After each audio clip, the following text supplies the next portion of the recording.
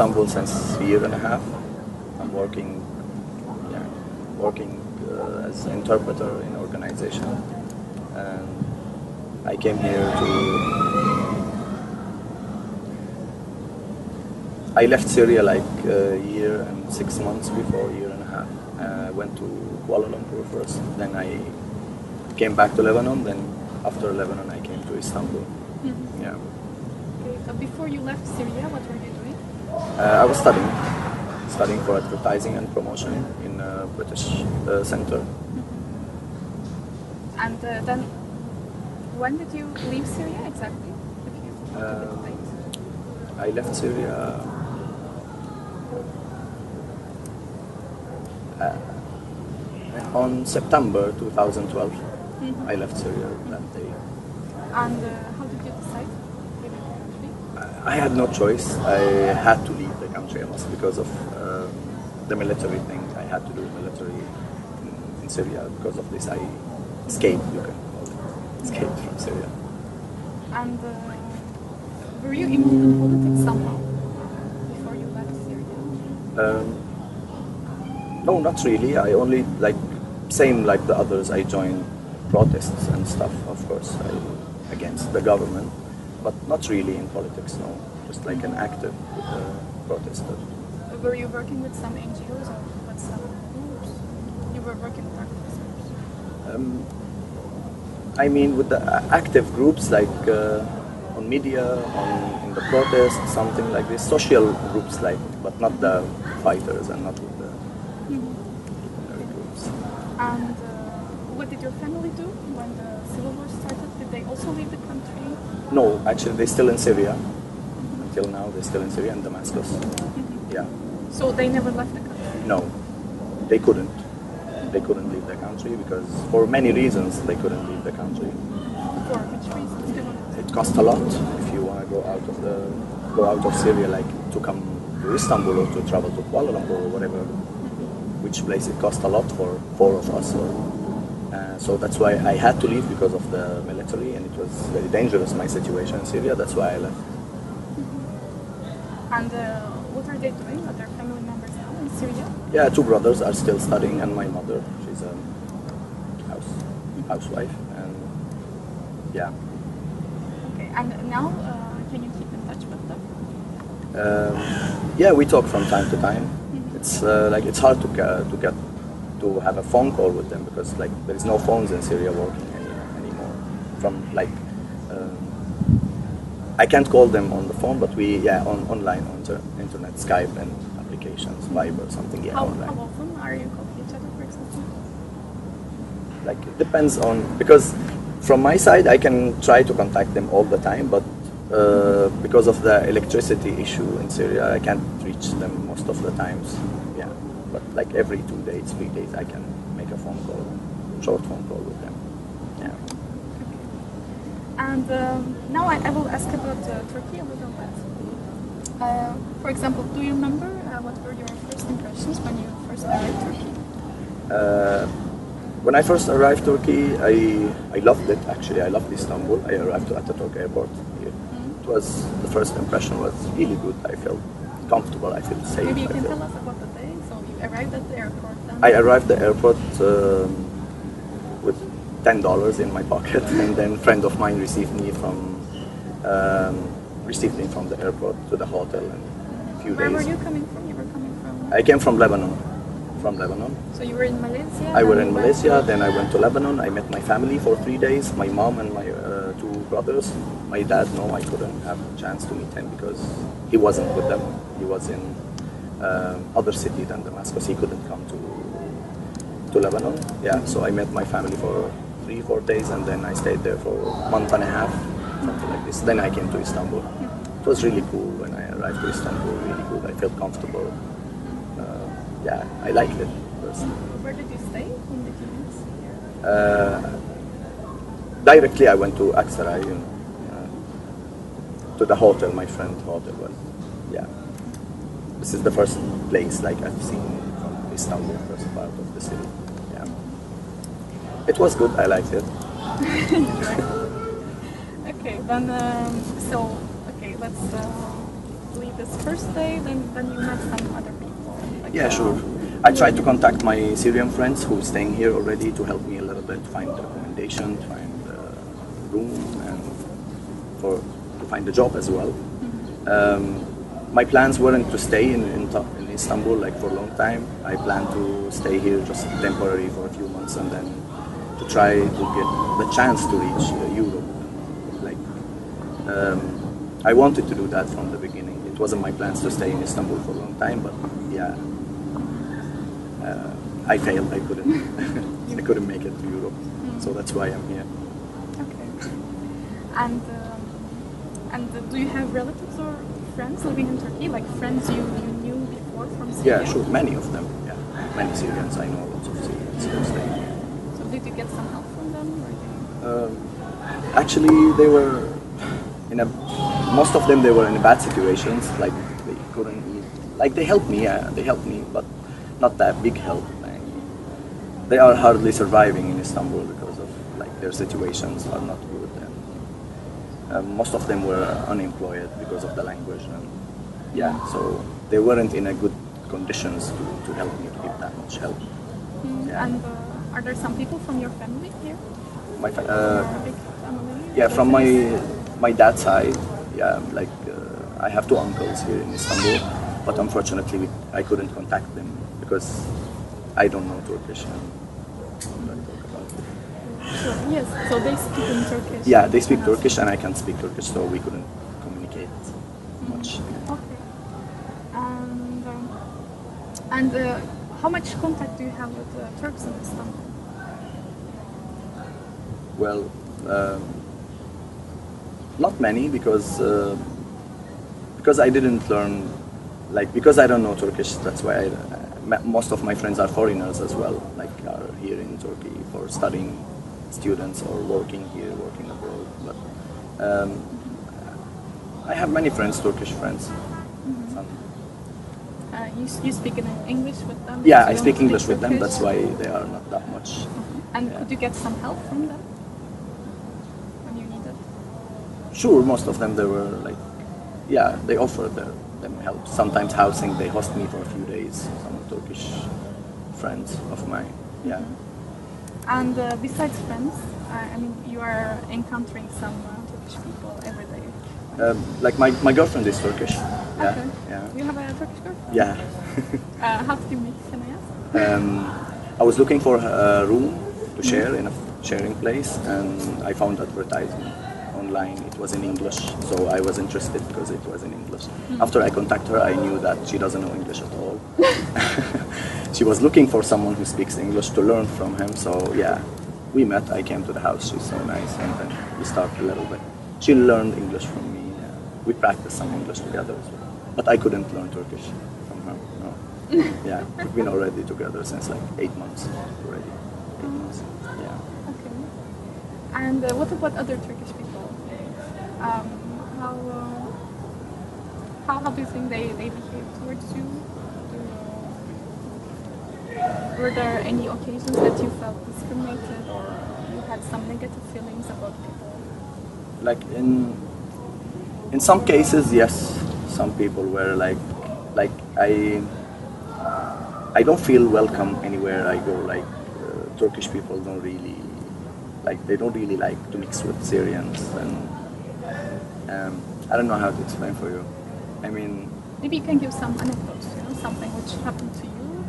something happened with me like it was my first shock of uh, someone like turkish citizen how he treat me so bad because i couldn't speak turkish in front of him and i'm a foreigner and i'm from syria he asked me first he was the terezi the tailor i went there i asked him to fix my trousers or something and when he knew i'm from syria he started gassing on me and swearing and for many reasons Just because you're Syrian. yeah, because yeah, there is no other reason I didn't do anything for him. Just because when he knew I'm Syrian and foreigner, he didn't really like it. Like I, I wasn't welcome in his shop that much because Syrian. It was my first shock when I, I met someone who's like who doesn't like Syrians at all.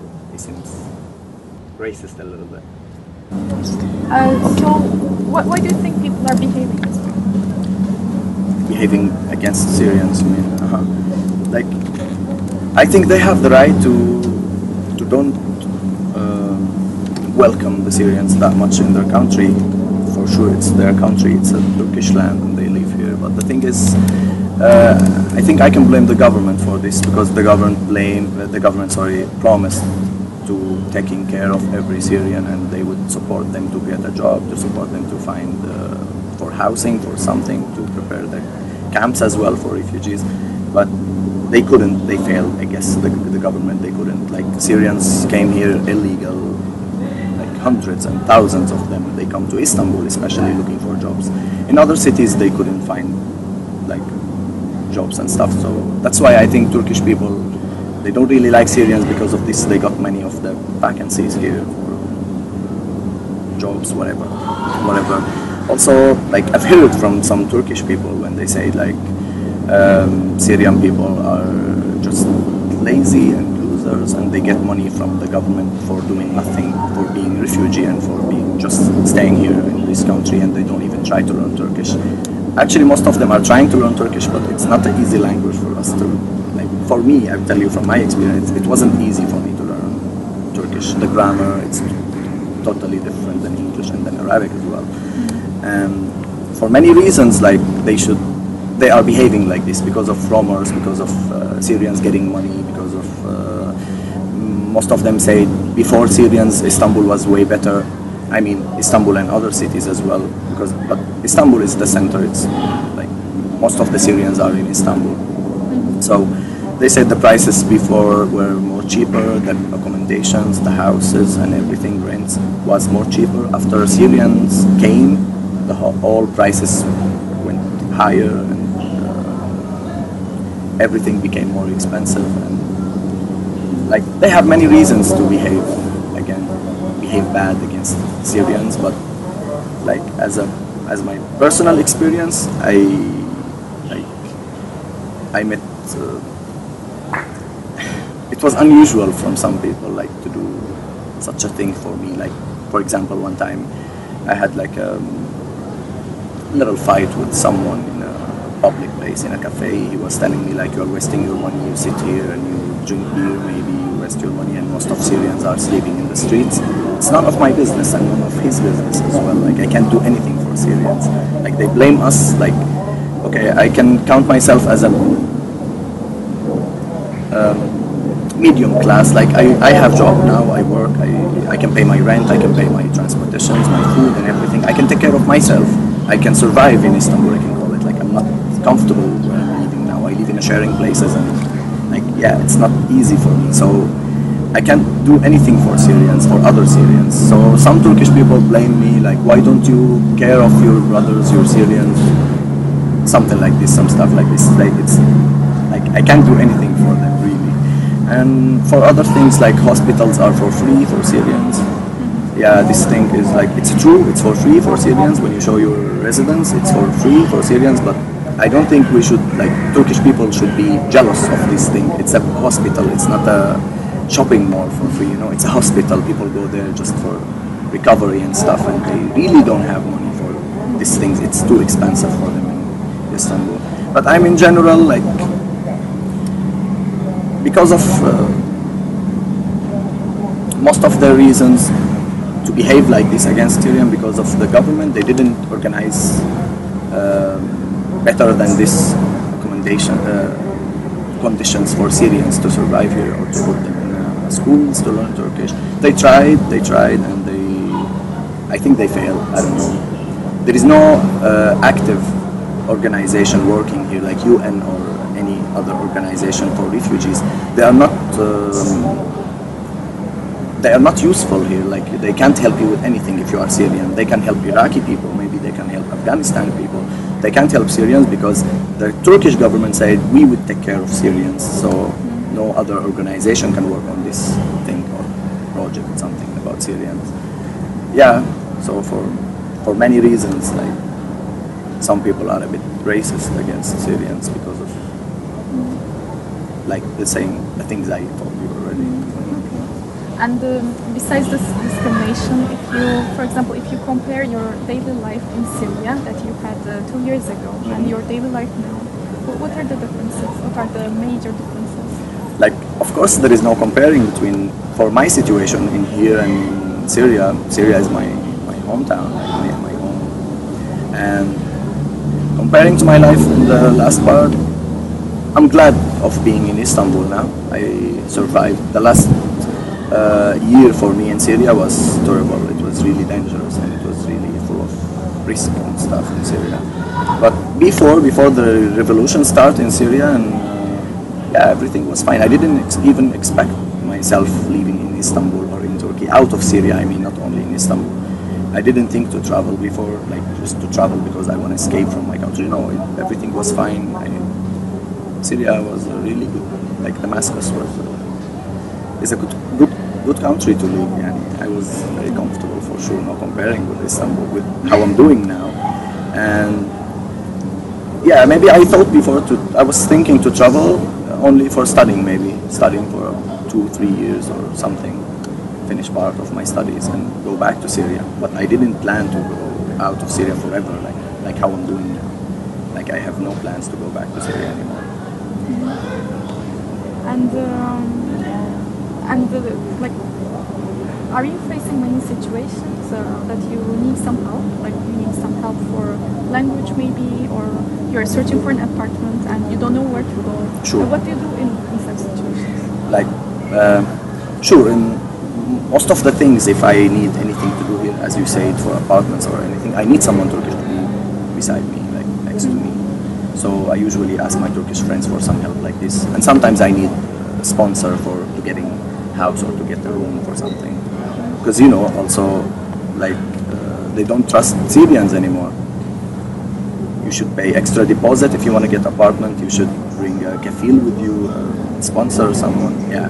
So it's not. Uh, most of the time, yes. In Turkey, I need I need someone to, to help me. And is there any official place or an organization that you can ask help from? Like uh, for me as a single person here, I didn't really look for organization to help because I've heard from other Syrians who's, who are living here, like they only help the needy families, Syrian needy families, and they don't they don't really uh, help uh, single persons. Like for me, I'm single here. I'm alone. I'm, I don't have kids. I don't have family, so I don't really get support, food or money or something. No, there is no supporting by anyone by any side. I, I- wanted to ask you about this because uh, there are many rumors, like we are hearing it maybe every day, Uh-huh. that uh, and the first rumor is about money, that uh, Syrians are getting some money. 800 lira Yes, exactly 800 lira. lira by the Turkish government. Like, let's be real, let's be logic a little bit. If I get 800 lira in Istanbul by the government every month, I would be super glad. I would be really fine. Better than Turkish people, I guess. I would be really comfortable in Istanbul. 800 lira is enough. Like, maybe I can find other job, part-time job for 500 lira, and I would be fine. 1,300, it's okay. It's good, yeah. But no, there is no money, there is no support, unfortunately. No. So who's getting this? There is there is no such money at all. there is no there is no money for Syrians like maybe they get some welfare some money from uh, organization for needy family really needy family like uh, and not 800 lira no. I've heard like 300 lira maybe for real needy family by other organizations by organizations like or by uh, like donating something I don't know how to explain um, Like a donation. yeah, donation. They can get some money by donation, but as a regular thing, as a normal, usual thing, like every Syrian get 800 lira, this is not true. So government gives no money to. No, no, no, no. We paid for our residents. I paid 200 lira for the government for the residents. I paid money for the residents. Yeah. Ah, okay. And uh, and about food, you are saying you're not getting any food. I'm not getting any food because I'm uh, as I, I'm single person. I'm, I'm not with the family. I don't have family. But families, yes, they get some food like uh, oil, sugar, salt, some small box to just to help them. And um, the second thing people are talking all the time in Turkey is uh, why don't Syrians uh, go to the camps and uh, they're coming to the cities? I was actually wondering the same thing, like why Syrians are coming to Istanbul and they can't get a job and they sleep in the streets like beggars and homeless people. I asked many of them, of the people who is begging in the streets, and they say just like, uh, no, life is in Istanbul in the street better than the camps on the borders, on the cities out of Istanbul. I mean, they escaped from the camps. They said it's terrible there. The food is not enough. Nothing is. They were in bad situations. That's why they choose to be in the streets instead of the camps. What did you hear about the camps? Can you tell us a bit more? Like in winter, it was really cold. In winter, it was really cold. That's the only thing I, I heard from some people. And like, it's very crowded and it's not organized well for like. It's not good for anyone. I don't know. Not even if they are refugees. It's not good for anyone to live in that camp. It's not a good place to live to, to raise your kids in the camp. But unfortunately, you see them in the streets are begging and homeless people in Istanbul. Um, I, I don't know. They they know better than me, so they escaped from the camp and they prefer to be in the streets. Means the camp are really bad, in a bad situation, I guess. And um, also, the, the last rumor I will ask you about is about elections. Uh, you know that we had the local elections in March, in last March, and uh, during the elections uh, we heard many things like uh, Syrians voted for uh, for AKP. There were some Syrians uh, voting for AKP, and uh, I, I think it was uh, like they changed citizenship. They did some arrangements to get some more something like this. Have you ever heard such a thing? Have you- Syrians are voting. Yes, Syrians uh. I, I don't You think we are not allowed to vote. Our residence doesn't allow us to vote, so I don't think it's a. I don't know. Like from the uh, from the social media, I read about this uh, Syrian situations in Turkey. We were talking about this thing. Like we won't be involved in this political things happening in Istanbul, in Turkey. Uh, the same as happened in Egypt. Syrians start to support the government, then they start to support other things. So they got involved in that. Uh, mess we can call it I don't know but here in Turkey I, I've never heard about anyone. Like we can vote. I'm sure about this we can vote. Yes, officially no. yeah officially no we can vote for any party for any groups for any someone but uh, yeah. And uh, so you you talked a little bit about how difficult it is uh, to get an apartment in Istanbul. And uh, can you tell us what was your what was your experience when you searched for an apartment? Yeah, sure. Like uh, I tried to look online online for apartment, and I asked someone Turkish to call and talk to them. So the owner, the owner, like um, most of the owners were refusing Syrians when they hear just like on the phone, uh, Syrian, yes, okay, I need double deposit, and he needs uh, kafil, he needs sponsor if he want to get the apartment. And most of them they refuse at all. They say no, no, we don't give Syrians. They don't give Syrians at all. Yeah, so it's a try. It's uh, it's difficult to get an apartment here as a Syrian. Not only apartment, many things like as a Syrian, they they are using people here. Also in jobs and vacancies. Like I know all people here in Istanbul work for 12 hours. Not only Syrians, but Syrians are working for 12 hours for nothing, like for very low salary, like 800 lira. No one can could survive in Istanbul in 800 lira or 700 lira for 12 hours working daily. It's too much, I guess. So um, life is getting difficult for Syrians here. It's getting more and more difficult day by day. Like first when I arrived here, uh, it wasn't a big problem if you want to get apartment. If you have money and you are Syrian, you are welcome any anytime. But day by day, when Syrians become became more and more in Istanbul, the prices became higher, and like usually the landlords they make the price higher because they are Syrians and they need this house for sure, so they are using them at this point. Um, but now it's getting difficult. Like now, no, I don't think I can get the apartment. I should, as I told you, I should pay double deposit and I have a sponsor. It works maybe, but other than that, no. Yeah. And uh, and you said it changed from the time uh, you Yeah, came it's here. changed. And, uh, do, do you think uh, there are some other big changes, uh, you know, since the time you, you came here? about finding housing, about uh, Yeah, all things job? are getting difficult, more and more getting difficult to find job now. Um, like as I told you, in general, they don't trust Syrians anymore. They don't trust them at all. I know some Syrians are making some troubles here as well. Lots of Syrians I've heard about them. They are making some troubles. They sometimes they they cheat the owner, something like this. They escape, they move. Like you know, they are like just roaming around Turkey, so they don't settle down in a place. Most of them. Mm-hmm. So that's why they don't trust Syrians anymore, and it's like it's getting difficult for in general. In I don't know. And uh, there was also a big difference between uh, you know people from different social classes came from Syria. Mhm. So there are people begging on the street, but there are also some people living in some uh, very good flats and uh, some uh, good uh, good uh, areas and stuff. I don't know. What is your comment on this? My comment on them, like the rich people who left Syria, most of them are in Europe now, not even in Turkey. Most of them they got visas and huge bank accounts and stuff. They left to Europe directly. But the ones who's uh, who's living in Turkey, the rich people, I mean, uh, they own factories here because okay they, they closed their factories in Syria now they opened here again in, in Turkey their life is easier also for residents and for everything the Turkish government are helping them. They don't get a, a residence as mine. It's different residence for businessman for something like this even if he is from Syria. But if you have a lot of money of course it's changed. It's not the same treatment as as they do for me like it's totally different for rich people. And yeah, unfortunately, as you say, the Syrians are sleeping in the streets, and some of them are very rich and they live in a very expensive areas.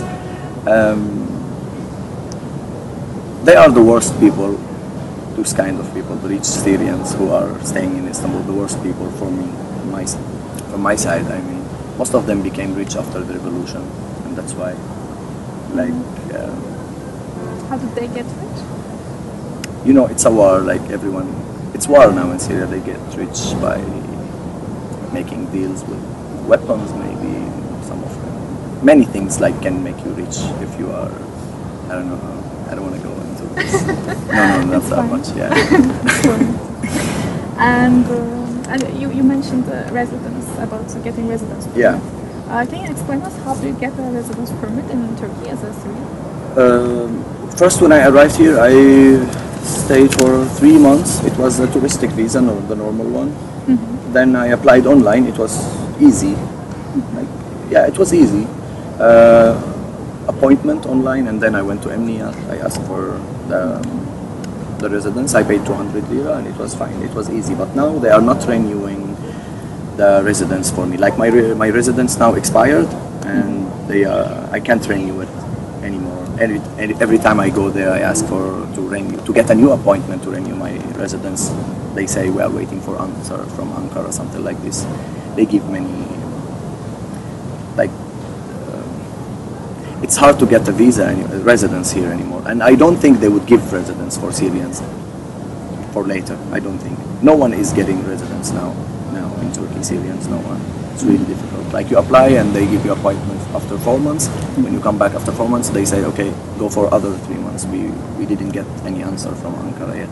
So I don't know how it would be our situation here without residence and without things. And most of the jobs ask for residence. So now it's the, it's the worst thing could happen in Turkey. No residence, no job, and yeah. Mm, and you cannot work without residence. It must be difficult. Like you can work without residence in a maybe in a restaurant, in a bar or something like this. But if you want to work in a company or in a office job, something like this, you need residence for sure. Yeah. Mm-hmm. Mm-hmm. Okay, so now uh, I will leave Turkey and I will go to Syria. Okay. Uh, I, I just have a few questions about Syria, uh, some very general questions. So, uh, for example, how much are you informed about what is going on in Syria now? Can you follow the news and uh, what do you know? Um, actually, I'm not following the news that much nowadays because I, I don't believe them anymore. I, I don't trust them, the media in general about the news in Syria. Talk about radical Muslims and they talk about the regime. They talk, like now there there is many groups are fighting against each other in Syria, so I don't really follow the news. Uh, And um, uh, you said that you don't trust media. Do, do you mean uh, Syrian media? Do you mean international Syrian media, hundred percent, I don't trust them for sure. I don't trust them in anything. In the weather, I don't trust them. The news, Syrian news, no. And international media? Um, like everyone knows the media is controlled by someone. So they show you only what they want to show you. Like now they show you muslim radicals are doing progress in syria and they are fighting regime. And it's it's not true. The radical muslims are fighting against kurdish people in the north and they are not doing any progress against the regime. They are not fighting the re- no one is fighting the regime anymore. That's why i don't trust them and i'm not interested in this news anymore. I'm not interested at all no one is fighting the regime no one like they are fighting for money and oil and weapons that's it. No one is fighting the regime. Like every like they are dealing with with each other. They keep it up. They keep it warm the area. They keep it in a danger. They keep it in a like a, the atmosphere of war though. So many people like are making money of this thing. So it won't end in 10 years i don't think. It will end finish this problem. No there is no syria anymore for me my personal opinion as how i know about syria And do you think other countries could do something about this? For example, um, they were discussing about a possible intervention last year, and then it was like a change in the last minute. They decided not to go into Syria. Would you support such a thing? I don't expect any help from anyone from other countries. No, I don't know how to explain. You mean you are hopeless that they would help, or that they would work for their benefit? That's what you. Yeah, everyone is working for his benefit. No one think about. No one care about Syria anymore. No, they don't care about the citizens. They don't care about the land. They care about money, oil, something like this. That's it. So you don't have any possible solutions in your mind for the situation in Syria? If you could change uh, anything, you could change. What you would change? Syria now need um, an honest voting, something like this, for someone who can lead this country and just um, to fix the situation. I mean, we need someone. Uh, let's skip this. I don't know. I don't know how to explain. It's hard for me in English. In Arabic, I can explain for you as much as you want, but I don't know how to explain for you. I, I ask it well then. Um, I'm also curious about um, how, uh, how Syrians are keeping their network because now uh, there are many Syrians living in different countries. There are many Syrians living in Turkey. And how do you keep in touch? Do you have some special ways, some special networks? Um, actually, like uh, they based on social networks, like exactly Facebook, for example. Many pages are for Syrians. Like there is a page called Syrians in Istanbul, Syrians in Turkey, Syrians in Germany. Yeah, there is a lot of uh, pages supporting, like for Syrians to keep them in touch in, in the communities wherever they are in, in the world, like in Turkey, out of Turkey. Yeah, there is many many pages for Syrian people to keep it to keep them in touch. Yeah, look for vacancies, look for housing, look for. They help each other if there is any uh, donation or something. They help each other through that pages, through that social media they on. And besides Facebook, is there another website or something like that? Like the most famous one, most popular is Facebook for everyone. Yeah, not like Twitter. It's Facebook. Yeah. Most of them they use Facebook. Yeah, Facebook. okay, on Facebook. And uh, now I will skip to Turkish politics. I'm. Uh, I, I wanted to ask you if you're following Turkish politics first of all. Can you follow Turkish politics? Um, in general, I'm not uh, I'm not into politics that much, and uh, Turkish politics exactly. I like I don't I don't even understand it. I don't understand it much. Like I hear from Turkish people like, what do you think about the situation in politics? Sometimes I ask, but I don't really get uh, an answer for what I'm. How is it going on here? I don't really understand it. That's why I'm not really into politics. Turkish But you politics or heard whatever. some things probably. What did you hear? Like when they started in Gezi Park, I was wondering if is it against Syrian at the first place. yeah, yeah. I went to Istiklal and I was afraid just walking in Istiklal. What the hell? Why, why is all this happening now? And I asked one girl. I didn't choose a guy. Uh, is it? Do you speak English? Yes. Is it against Syrians here? Uh, and she said uh, she couldn't understand much, and she said yes for me. And I was super afraid, like what against? I said, and then someone came. He said, yeah, yeah, just like Syria just like Syria here, because you know they burn fire and they make a lot of rail and stuff. So I, I don't really understand it. That's why I'm not really into it. So I asked many opinions about it. What do you think of the future? What is the meaning of this Gezi Park now? Is it the main reason for this protesting and demonstrations just for Gezi Park, or there is other reasons? I asked many people, but I don't really understand it. No, No. no, I don't really understand it. Uh, do you know about Turkish politicians? Like, would you recognize their faces? Do you know their names? Uh, do you know about the parties? Only uh, Erdogan, a party. I don't support, but I know the most popular one. Okay. okay. And um, again, if you connect it with the Syrian situation, how, how do you evaluate Turkish government's attitude towards uh, Syria, the Syrian crisis in general? Sorry again. Like, uh, how did the uh, Turkish government's reaction to, uh, to to the crisis in Syria? Do, you think it was appropriate? Because there are, for example, many people in Turkey. Uh, they think Turkish government was um, too much involved in, uh, in the Syrian crisis, and uh, they gave too much of opinions. And, Too much involved for sure because just Syria and Turkey are neighbors. Just like uh, they can only open borders for people are dying in the Syrian side. So they are involved, yes, but for for many reasons, political reasons, for humanitarian reasons, they open border. They are too much involved. But um, But besides this, besides opening the border, uh, for example, Erdogan uh, gave many speeches about Syria, calling to Assad that uh, he should leave the government, and uh, uh, they wanted uh, an intervention for some time. Like all uh, do do they were they were right? They were right to do. From, that, like everyone is trying to end this uh,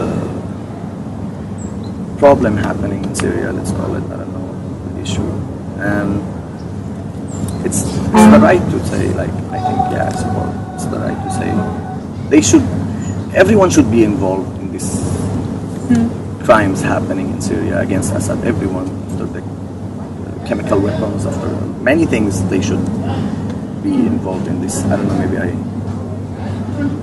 okay. yeah. And uh, and you already said that. Uh, you think there were there were some wrong things that Turkish government did about Syrians living in Turkey. There were there were some uh, wrong policies uh, towards Syrian people. Things could be better. Government could do things better. They can only like uh, open the residence again, give residence for people and for cheaper cheaper prices a little bit. Some people they they really don't have this 200 lira to get. Now that I think they make it cheaper if they want to give residence anymore. Um, that's the most they can do for Syrians. I don't know. I can't find a solution for them. Like uh, there are millions here, you know, thousands and millions of Syrians here. Like at least if they make the camp a better place to live for the real needy people who need these camps, they, that's the most they can do. And just to make it easier a little bit for them to find jobs and stuff, like to support owners to- of companies, to support um, landlords and stuff, to help Syrians a little bit, support them like by taxes, by something to help Syrians a little bit. That's all what they can do, I think. Okay. And uh, so I have, I have just uh, a few other questions to, to end the interview. And um, first of all, can you imagine yourself happily living in Turkey 10 years later? You already kind of answered this, but I, will just ask again.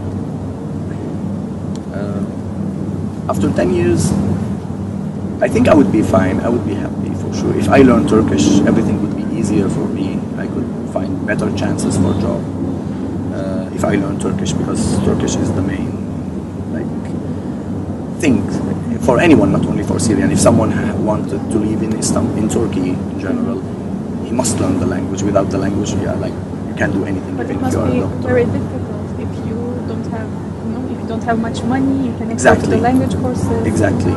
There is. It's not about money only. About it's about money a little bit. It's uh, there is a cheap centers to learn Turkish language, but the thing is there is no time. If you are working for 12 hours, how could you learn Turkish? The only way to learn Turkish is practice with your colleagues, to talk with your neighbors, something like this. You can improve your language slowly, slowly.